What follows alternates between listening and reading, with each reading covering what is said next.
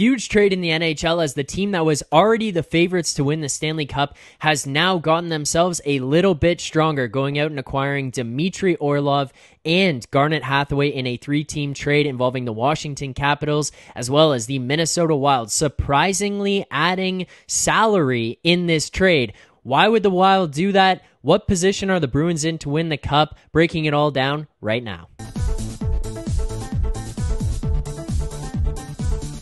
Welcome back to Edgework here on the Hammer Betting Network. We're typically live Monday through Friday, 10:30 a.m. Eastern Time, giving daily picks and previews of the games that night. But as we've been doing recently, breaking down trades, and there was a big trade here tonight. The Boston Bruins have now acquired Dmitry Orlov and Garnet Hathaway from the Washington Capitals in exchange for a 2023 first round pick, 24 third round pick, a 2025 second round pick, as well as Craig Smith. And now we are seeing the Minnesota Wilds yet again taking on more salary from another team in a trade, taking on 25% of Orlov's salary, uh, fifth round pick from the Bruins, as well as Andrei Svetlakov, a 26 year old playing in the KHL right now. Washington also does retain 50% in this salary from Orlov.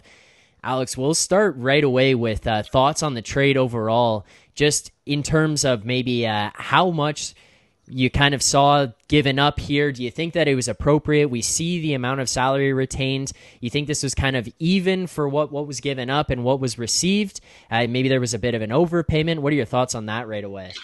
No, I think this is a, a, a, fair trade. I mean, the, the gem of this deal, and pun intended, is definitely Garnet Hathaway going to the Boston Bruins. I, he's a guy that I've really liked watching over the years. Uh, you know, played a few years in Calgary, a few years in Washington. And he's not going to be some just uh, shutdown scorer. He's not going to be the you know best defensive forward. You know, he's not even going to be the toughest guy on the ice. Uh, you know, all the time, but he will stand up for his teammates, drop the mitts. He will block shots.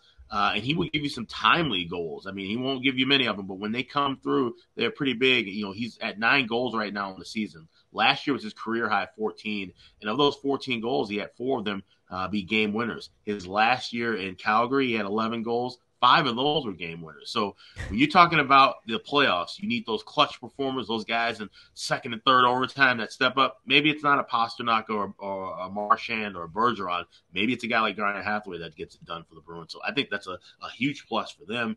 On the flip side, I mean, Washington's a team that I think they're kind of uh, finding themselves more on the outside looking in at this point.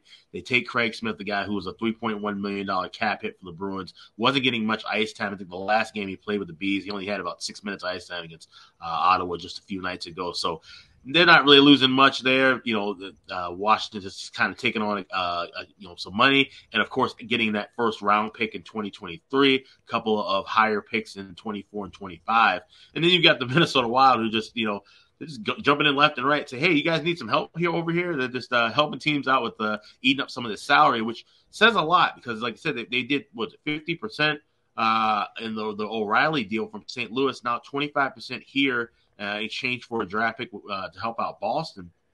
This definitely seems like the Wild are either loading up to do something really big or they're just kind of just sitting pat and saying, "Hey, you know what? We had a rough start. I don't think we're going to be able to get back toward the, the, the top of this race, and maybe they're bowing out of it."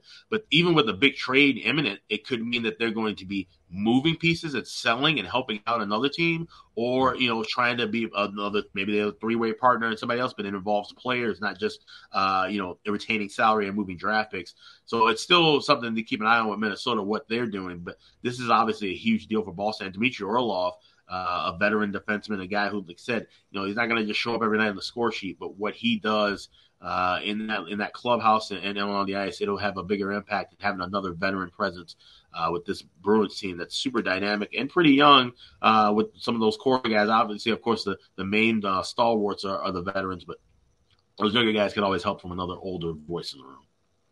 Yeah, and that Minnesota team you're talking about, both deals acquire uh, they have been involved in at this point. They took 50% of the 50% uh, of the remaining of uh, O'Reilly, so they take 25% of his total contract. Looks like they've done the same here again with Orlov. It's kind of interesting to see that happen. It's not necessarily a team that I would imagine would be involved in this type of stuff. You're more looking at maybe the Arizona, Anaheims, maybe even a Columbus at this point to do that and just finish out the season and and let it ride to to to close things out, but not so much Minnesota. Uh, I am kind of curious your thoughts on Boston's makeup as they are right now with these two guys coming to their team. You touched on Garnet Hathaway. I think that's a big underrated piece for them. I kind of relate that a little bit to the Noel Acciari acquisition in Toronto. Maybe it goes under the mm-hmm. radar, but long term playoffs, that's the kind of guy you see Boston, Tampa, Colorado add as they approach the deadline or get to the deadline. It's that depth piece who plays a certain style of hockey, has playoff success. They are a playoff performer, but the big piece in all this is obviously Dmitry Orlov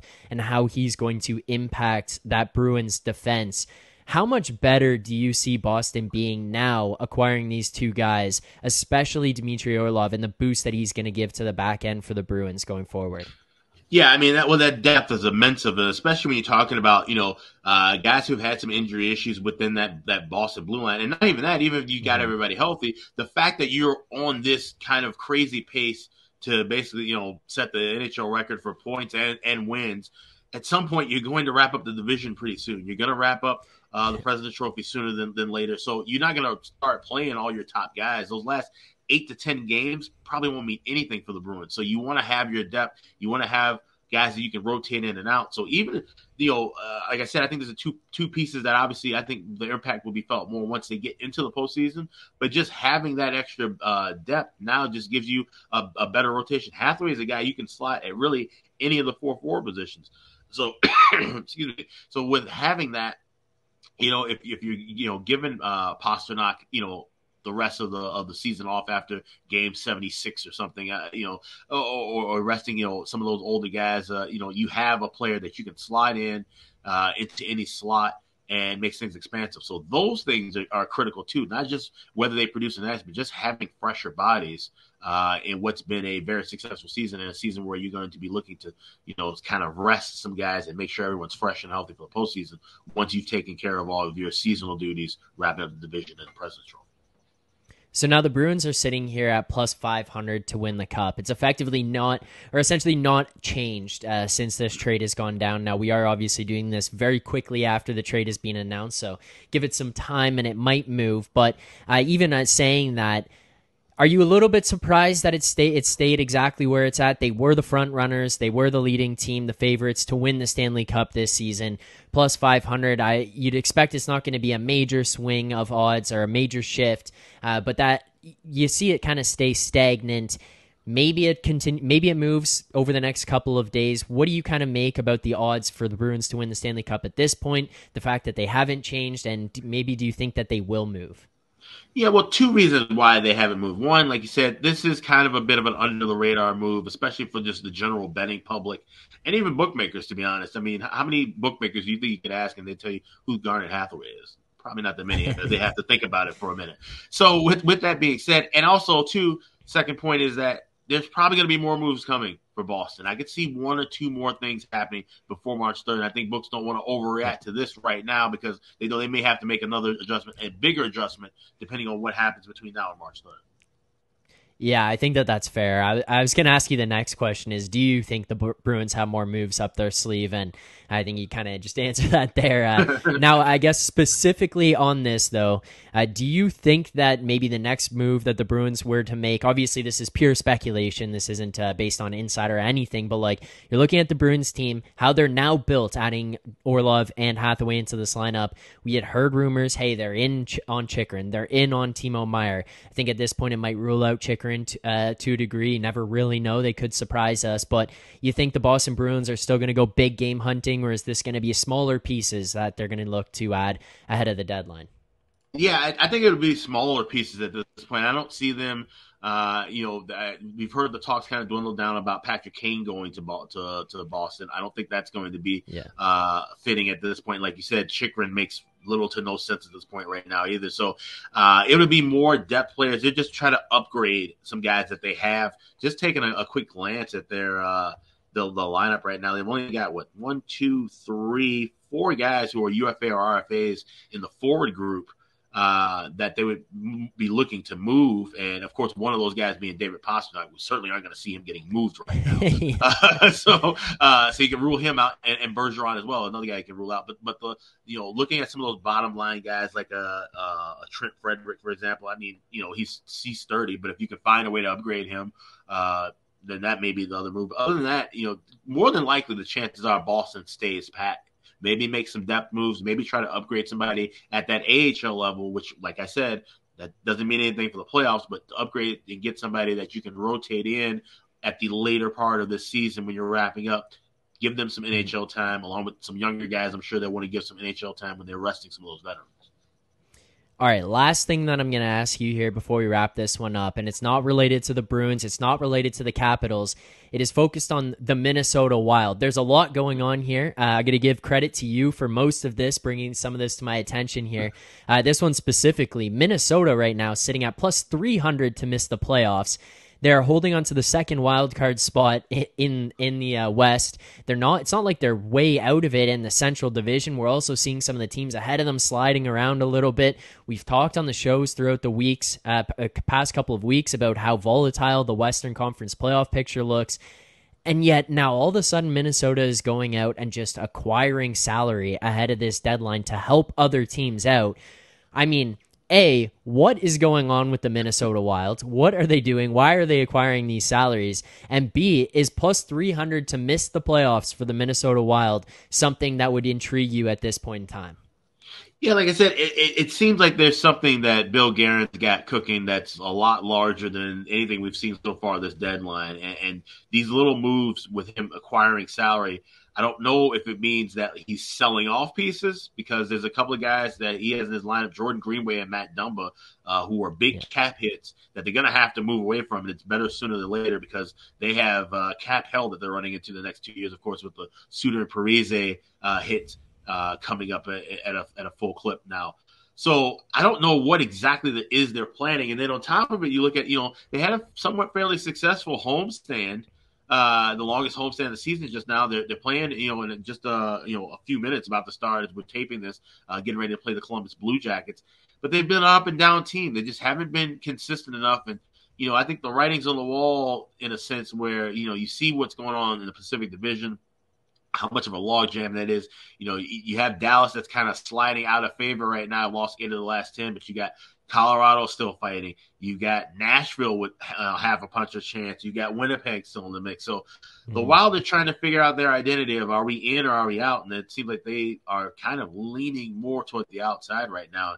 And with that being said, plus 300, that number is not going to be around long. So I'd grab even a small piece of that right now just because uh, even if they do try to upgrade, that doesn't mean it's going to work. They've still been struggling all year with the pieces they've had. It doesn't mean a, a, a trade's not going to just turn everything around. All of a sudden, they're, they're a playoff team or a cup contender. So yeah. I, would take a small shot with plus 300 for the Wild to miss the playoffs at this point now, which is interesting because I, they were actually one of my favorites to make it to the Cup Finals out of the West uh, at the beginning of the season. But that rough start, they just haven't been able to, to, to get afloat and get to the rhythm that they were at at any point last season, and uh, certainly what was expected of this year. Yeah, and this is a little interesting to me too, watching this because uh, I was higher on them coming into the year, than especially than where they're at right now, and even in the position that they're in, just kind of gripping onto that second wild card. And as you mentioned, Parise and Suter contracts coming up that are going to absolutely crush them for the next couple of years. I, I was in the position thinking at this deadline, Minnesota is going to be in a spot to say, all right, forget it. Like put put some of our chips in at least and try to right. make a push. You've went out and had the Fleury deal, like bring him in full time kind of thing, and it's uh, it's interesting to see what's going on. Maybe we're going to get an Allan Walsh tweet with a uh, sword through Marc Andre Fleury's back coming up next here. Round Maybe. two, signed by uh, Bill Guerin this time on the sword. but, Yeah. Alex, thank you for doing this. Appreciate it as always. For anyone who watched here today, make sure to like this video if you enjoyed the content. You're not subscribed yet, please hit that subscribe button. You'll get notified every time we go live Monday through Friday, 10:30 a.m. Eastern Time doing daily picks and previews of the games that night, as well as our new podcast with David Pagnotta, Dennis Bernstein and Zach Bodenstein. And on top of that, more videos like this breaking down trades, injury information, all that kind of stuff, approaching the deadline and as we get to playoffs how things could be affected, what the futures markets may look like. So please make sure to hit that subscribe button, like this video. Thank you guys for watching. Let us know your comments below, your thoughts on the trade. If you think there's a winner, a loser, if you'd bet the Minnesota Wild to miss the playoffs at plus 300, we will see you guys for our live streams Monday through Friday, 10:30 a.m. Eastern Time. We'll see you then.